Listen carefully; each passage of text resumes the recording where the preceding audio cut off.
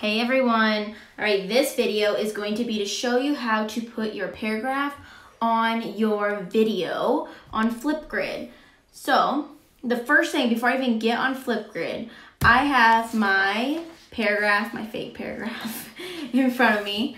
I'm to take a pic oh, I'm to take a picture of my paragraph. Obviously, your guys is to be real writing. So I took a picture of my paragraph. Now I'm going to get into my Flipgrid app.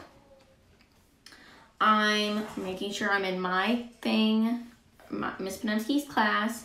Make sure I'm in the right assignment, week four writing. Add this. So here I am on my video. So down here you have these options all the way to the right, there's like a, um, um, I don't know what you call it, like a little picture. I'm going to click on that. Click on my, well, that's not a good picture, but your picture is going to be better than that.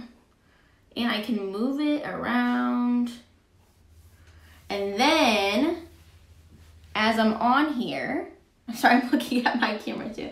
As I'm on here, I can read my my paragraph and um, have my face on at the same time. So you're gonna record it, do your selfie and all that. So that should help you guys out.